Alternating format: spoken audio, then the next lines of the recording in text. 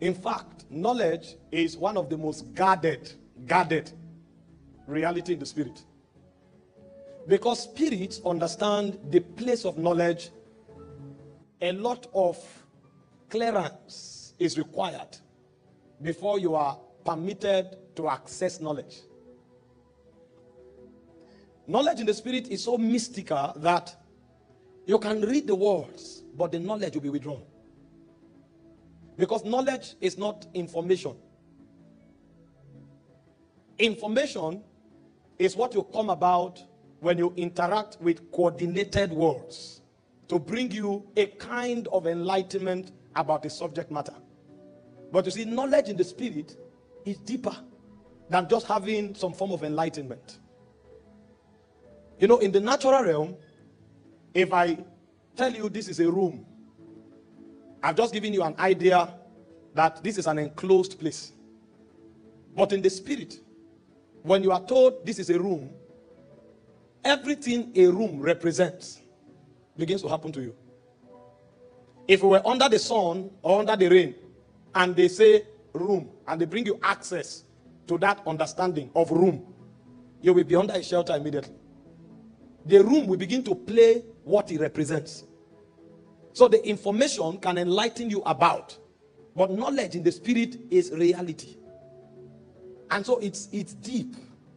That's why you can tell somebody about a spiritual thing, he may never possess it. He may even talk about it, but he will never have it. Because spiritual knowledge is a reality. How do you get knowledge? Number one, you get knowledge by asking or prayerfully studying.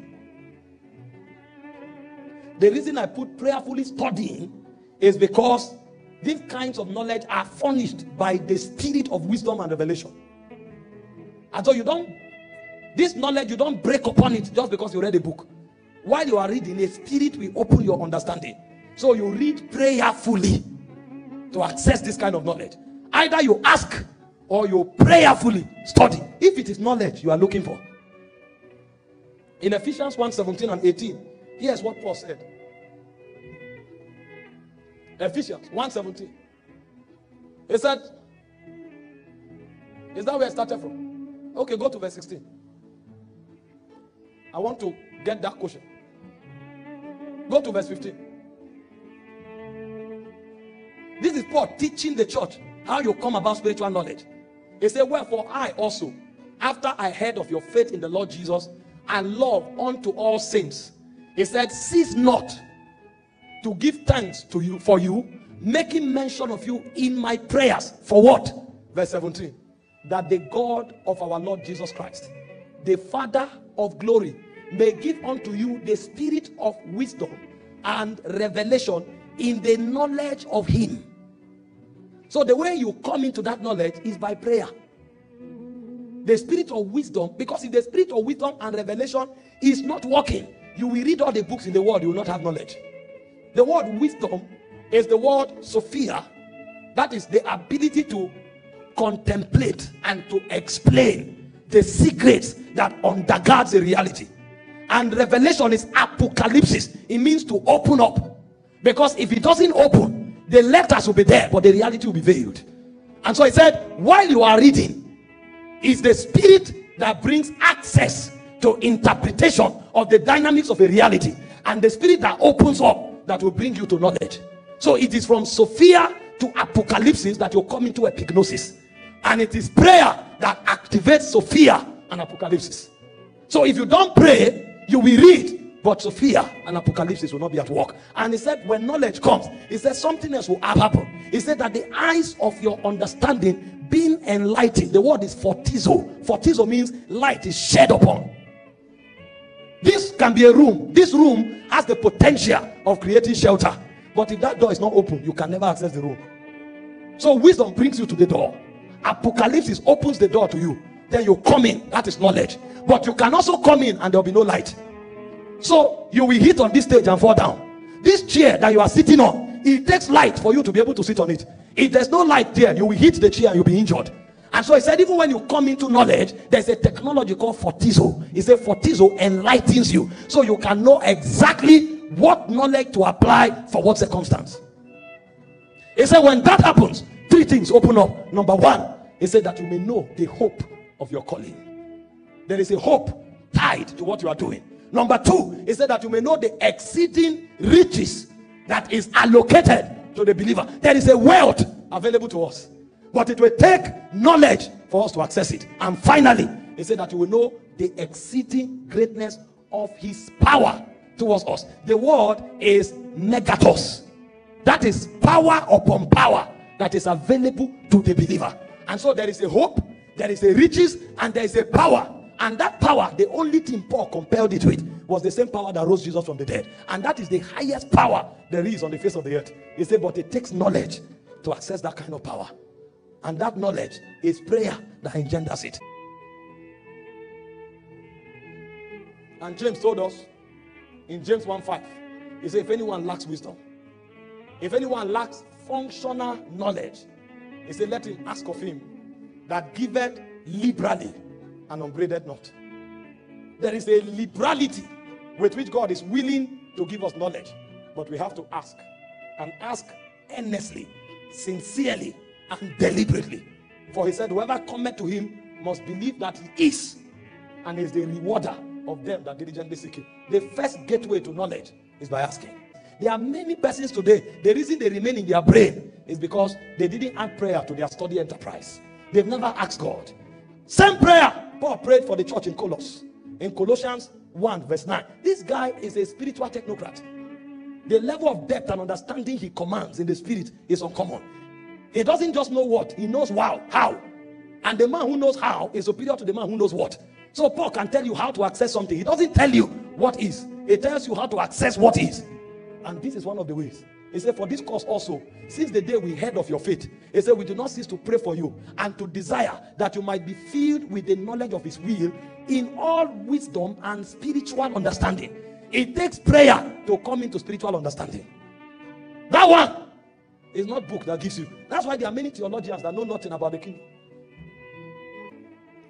You have not asked asked before because you think what you know is enough. But I came to tell you that you are not only dealing with men. If you are dealing with men, you can bring the credential of your certificate and experience. You are dealing with spirits. And when spirits are involved, your credential and your experience will count for nothing. Number two, I'm giving you superior prayer point from tonight. And so some of you may need to stop telling God, please give me money.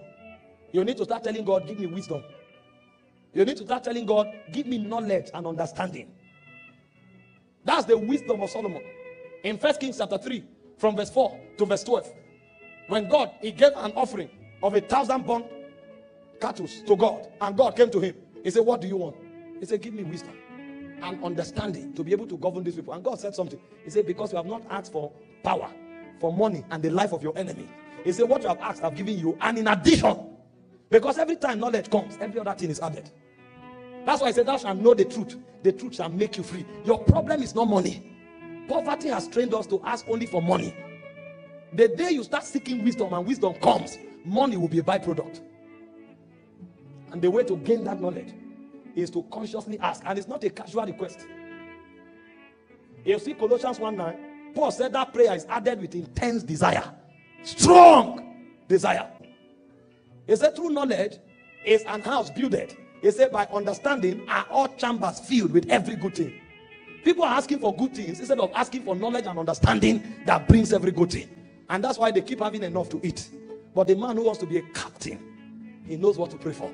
And what he prays for is spiritual understanding. In this month, God will bless us with spiritual knowledge. Number two, how do you access spiritual knowledge? Is by fear and reverence for God. In Psalm 25, verse 14, he said, The secrets of God, they are with them that fear him. It's not with them that read, it's not with them that went to a Bible school. He said, He will show them his covenants. In Proverbs chapter 9, verse 10, he said, The fear of the Lord is the beginning of wisdom. Job 28, verse 28. The fear of the Lord, this is knowledge. The knowledge, he said, reverence for God is understanding. We are generation that needs to be taught again the fear, the fear of the Lord. Somebody wants to know about God. He's in church, he's chewing gum. He's exercising his gum. Meanwhile, if you sat before your governor, you won't chew gum and be talking to him. And then when they say pray, say, um, Father, thank you for this service today.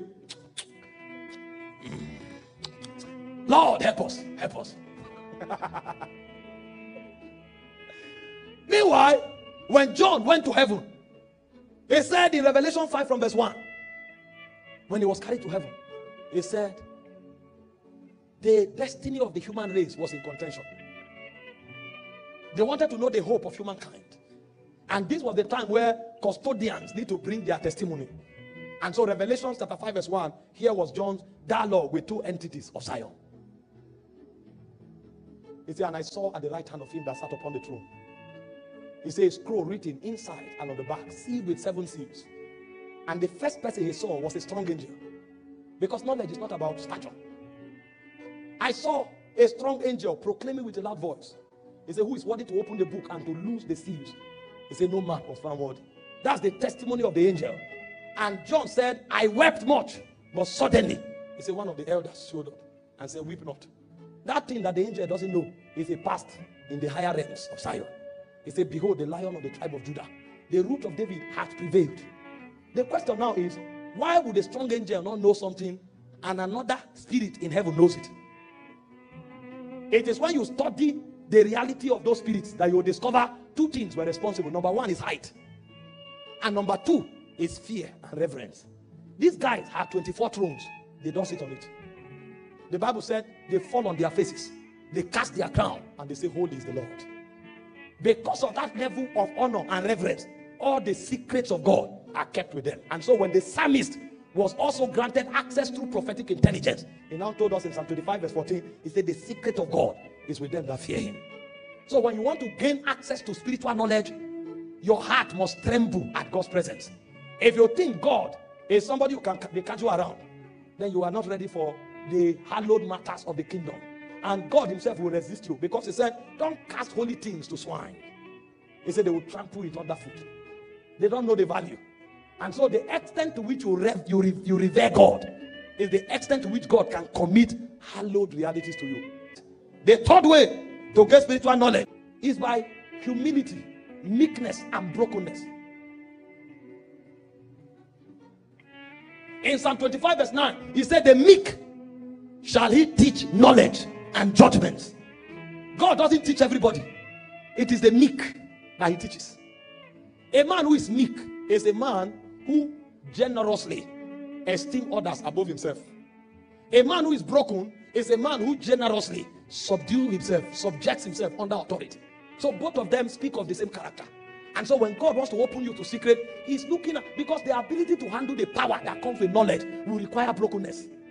If you are not broken, that power can keep. There's a kind of knowledge you have. If you say rain shall fall, it will fall immediately. There's a kind of knowledge you have. If you look at somebody and you say you are finished, the person will die. If you like, gather all the new creation reality. There are realms that are superior to doctrine. No, I can't balance it, so let me leave it. I will go, I will go far. Because when see, oh, doctrine is tied to dispensation, but realities are beyond dispensation. A man can enter reality now and travel our traffic beyond different dispensation. In fact, he can collocate every dispensation and bring it to one realm. When a man is broken, there is no measure of authority God will withdraw from him. But that authority will come as a kind of knowledge. There's a knowledge you can have now. You can remove somebody from office. You can command nature, it will obey. But it will take a lot of brokenness for that to happen. That's why spiritual knowledge is beyond reading. He said, God resists the proud. James 4 7. He said, But he giveth more grace to the humble. But how do people grow in grace? Second Peter 3 18. He said, Grow in grace and in the knowledge of God. So when God wants to give you grace, he increases your knowledge. And so what God does for the humble is that he increases their knowledge. That knowledge is what gives them authority and glory. We are a proud generation. Don't try to show people that you are humble. The things your life command will show if you are humble or not. Because the proof of humility is not that you said it. It's the kind of authority God is willing to share with you that justifies your humility. The fourth way to access spiritual knowledge by service and stewardship. Many people think they will be so blessed just by coming to church, sit down and listen. That's the lowest level of blessing in the house of God. If you really want to be blessed in the house of God, when you come to the house of God, you look for something to do. Ask those who serve, they will tell you. And if I had time, I will show you from Genesis to Revelation. Nobody who was superlatively blessed in the house of God did not commit his hand to it. Because mysteries, secrets, and knowledge are committed to those who are actively involved in engaging in the things of the Spirit. In First Corinthians chapter 4, verse 1, Paul said, We are servants of God. He said, Therefore, he didn't say we prayed for knowledge, he didn't say we prayed for mystery. He said, Because we are servants of God, he said, automatically we become steward early. And oh, what a blessing. That a man knows the honor of service. In fact, one of the most potent bases for promotion in the kingdom is service. He said, if you are not faithful in little, you won't be faithful in much. So, what God judges to verify whether you qualify for promotion is your faithfulness in what you are doing. Now, if you have nothing you are doing, how can faithfulness even become a reality with which you'll be judged by? The reason you find many believers never growing in the things of the spirit is because they are never involved. You can have 10 textbooks from note. If you are not doing something, you can't have experiential knowledge. I'll give you a story quickly.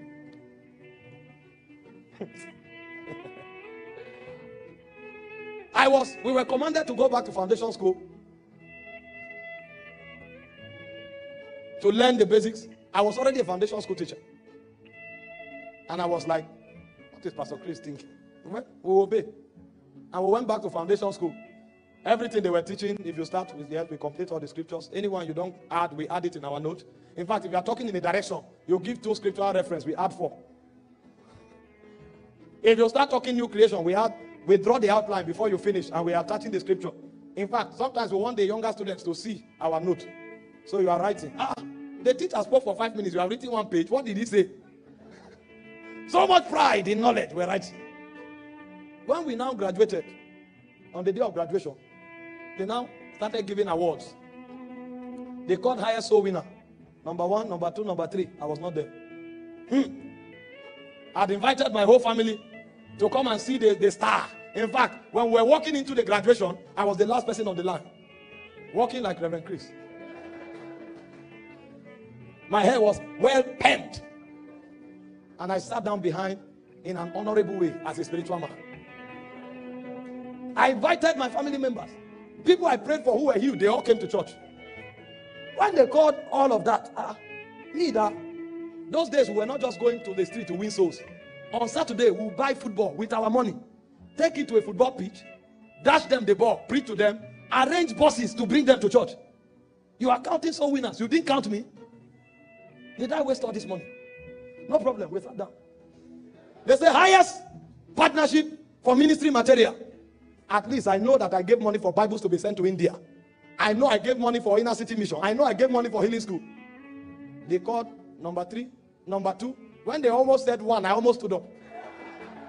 Number one, my name was not called. That was when sweat started coming. I didn't know there were pores here to, to generate sweat.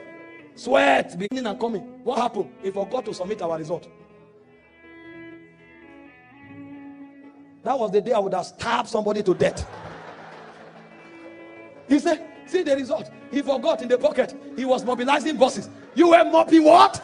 Do you know how much I spent? Do you know the shame?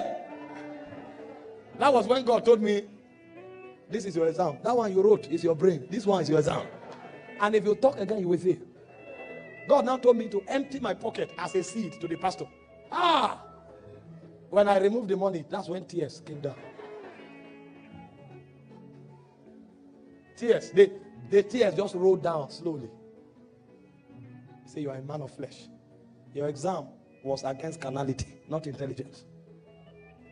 If I didn't participate, there's no way I would have done it. So there is a knowledge that is given to you only as you participate. Some of you think you are humble. By the time you stand there to give envelope, and the young boy comes and collects the envelope, I say, Young man, what do you mean? Give me a good envelope. You will now remember that. Wait, do you know I'm a barrister? This boy, are you in the university? Oh, by the time you are in the choir, somebody comes and cautions you. You not say, wait to come. Is it because I'm singing here? How old are you? You will not know the, the blockages of knowledge. It is in service that God will remove them. And so when God wants you to grow, He will insist that you partake and participate in service. I was a master's degree holder when God told me to go and support a friend of mine who was doing a campus ministry. I was already traveling to campuses for God's sake. Both of us were pastors in the same ministry. When I came to join him, I was thinking that oh, we are friends, and of course, he knows what I carry. you don't know pride. He knows what I carry. Are we? What do you mean? The guy now heard me and say, and God was the one leading him because they date we are brothers. He said, Here they grow. Uh, grow from what to what? is there among these campus students? I'm coming to grow. What is what is grow? From where to where? He now dragged me to the choir and said, This is the head of the choir. Join the choir. Ah! I will wear my double breasted suit like Pastor Chris and come to the campus and stand at the gate. They will now say, Stand at the door and give envelopes. The day we had a conference that the apostle was coming with the whole entourage, they now say, I should stand here. Ah! He now stood in front with our spiritual father and was coordinating the service, was updating him on some of the things that was happening. I stood in front like this. Sweat was coming down. Sweat. Well, it was like a bucket of water. I will clean it. It will still come down. I will clean it. You can't break until you serve. And if you don't break, you can't have knowledge.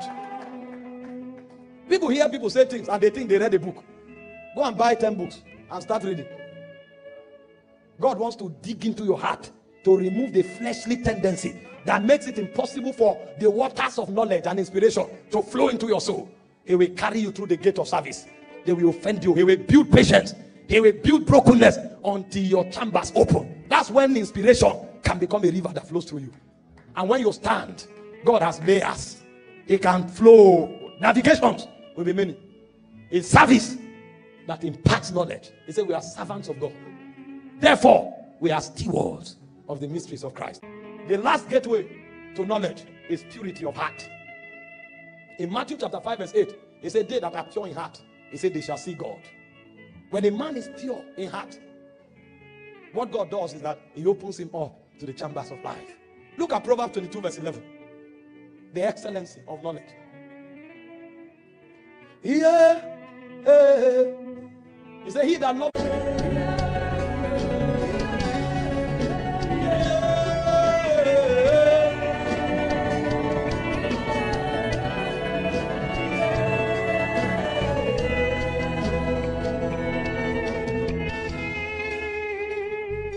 This cause, we cease not to pray for you. That he may grant unto you the spirit of wisdom and revelation in the knowledge of him. And so, in the name of Jesus, I pray for you tonight. Receive the spirit of wisdom and revelation in the knowledge of him. He said, when Ananias prayed for Paul, a scale fell off his eyes. And from that day, access was given to him to the chronicles of Zion. I pray for you today. Every scale that has blocked you from stepping into spiritual understanding, they fall tonight. And in the name of Jesus the Lord, step into the excellency of knowledge and spiritual understanding. On account of knowledge, let the glory of God on your life increase. On account of knowledge, let the authority you access increase. And on account of knowledge, let honor and access be given to you. I bless you with knowledge. I bless you with access. I bless you with authority and I bless you with increased glory. As you step out of this place, even the things happening around your life will change as an attestation that you have stepped into a new dimension. In the name of Jesus, let knowledge become your portion. So, let it be written, and so let it be established in Jesus' precious name. That's some knowledge. So, when knowledge comes to you, you can isolate it and you can define it that this one is truly spiritual knowledge because every spiritual knowledge has a nature. And so I give you three nature or essence of spiritual knowledge very quickly as we proceed. The first thing that characterizes spiritual knowledge is that spiritual knowledge, like I said from the beginning, is not informative. It is life or death oriented.